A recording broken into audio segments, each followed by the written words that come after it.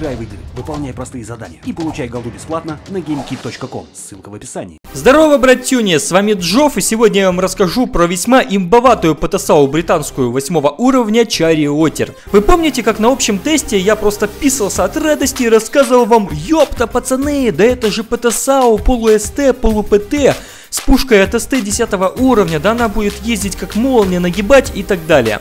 Вот, в чем-то, ребята, тогда был прав, в чем-то не прав. Прав я был в том, что это действительно имба. Это действительно очень э, быстрая, нестандартная, наверное, Патасау. Многим она напомнит Хелкета, но на восьмом уровне. А вот не прав я, ребята, был в том, что думал, что эта ПТшка сможет косплеить СТ.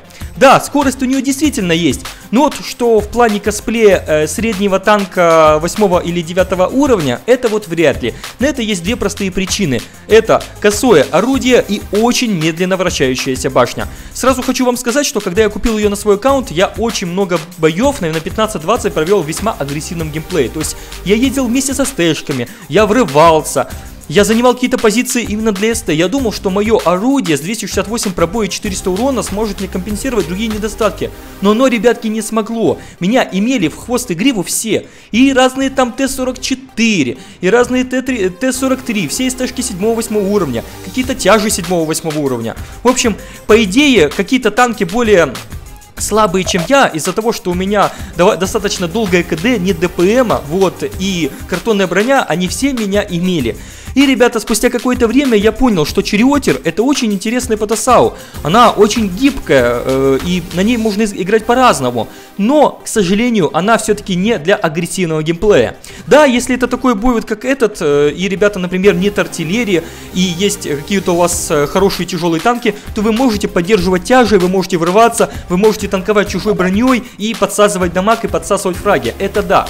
Но если карта открыта, если есть арта, то, к сожалению, ребята, ваш геймплей должен строиться от позиции к позиции. Собственно говоря, как вы, например, это делали на Hellcat или на Т-49, американской ПТ 5 уровня. То есть вы катитесь сначала на одну позицию, используя свою динамику, отстреливаетесь оттуда, кого-то светите или не светите, после этого вы едете на какую-то другую позицию.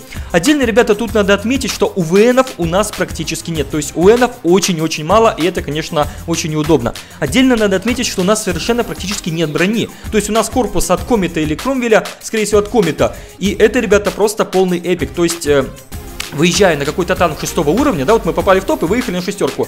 Ее нам надо бояться как огня, потому что она нас тупо пробивает и отнимает и так э, не очень большое количество хп. Также, ребята, надо отметить, наверное, самый главный бич э, Чериотера, это его косое орудие. Да, оно действительно, стабилизация ужасная э, сведение ужасное.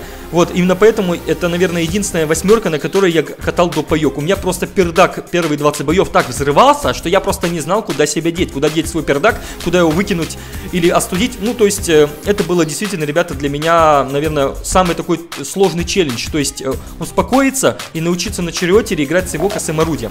Хотя, ребята, у его э, пушки, ну, кроме, конечно, супер пробития 268, кроме там хорошего урона 400, у него, конечно, есть и плюсы. Во-первых, ребята, это хэш фугаса. Вот только что я AMX M445 порадовал хэшиком на 500. И это приятно, ребята. То есть все вафли, борщи, э, там вафли-пазики и прочие картонные французские танки, они все очень сильно радуются, когда вы в них стреляете на 450-500 урона. Это безусловно. Но еще, ребята, у этой пушки есть такая хорошая особенность, которая мне очень нравится. И вы знаете, эта особенность частично компенсирует э, в, цело, в целом косорылость этого орудия. Это быстрая скорость снаряда.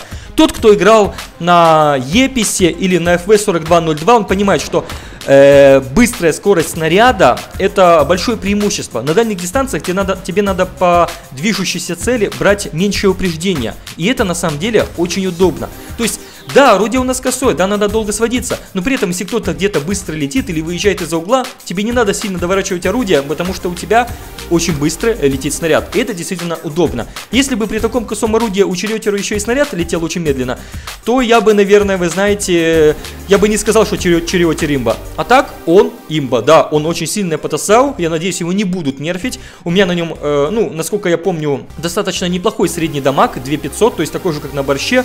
Конечно, это может быть не рекордный, как у страйков 3000, но я считаю, что для восьмого уровня это в целом вполне неплохо.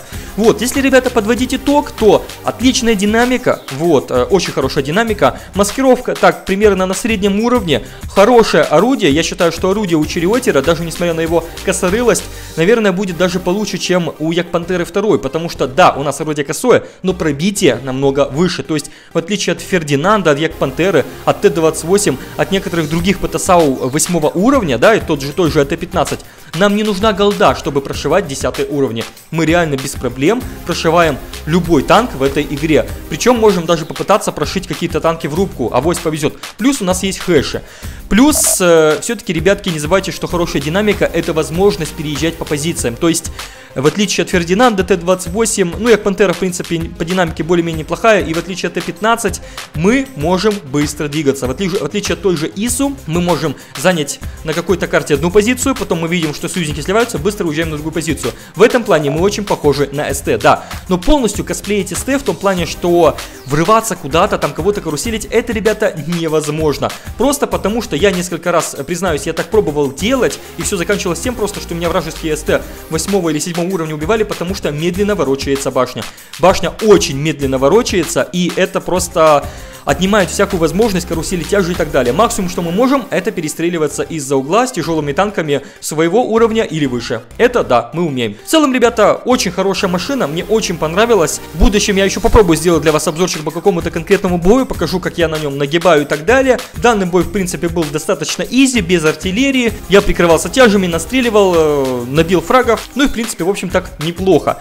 Пишите в комментариях, что вы, ребята, думаете о Черриотере, что вы думаете о его орудии и в целом о его геймплее, как на нем нужно играть. Как по моему мнению, на нем все-таки нужно играть от кустов, ну и если это городская карта и есть возможность э, потанковать союзниками, то можно подсасывать фраги из-за спины. А на этом у меня все. Всем спасибо, всем пока и удачных вам нагибов.